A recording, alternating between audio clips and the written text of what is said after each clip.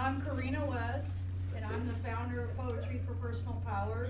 And I was on the 1996 Olympic judo team, and I'm a survivor of 12 psychiatric diagnoses and seven shock treatments and six suicide attempts and five hospitalizations and 29 different psych meds.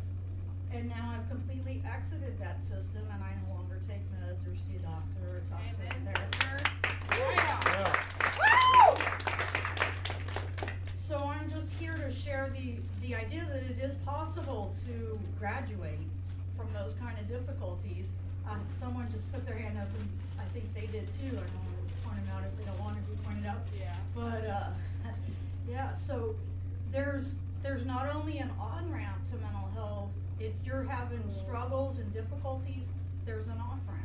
And a lot of times that off-ramp story is the other side of the story that we don't hear. We hear the on-ramp story from the, lobbyists who have a lot to profit from that story, but we don't hear the off-ramp story. So I wanted to share that story with you and talk about different things that can help people.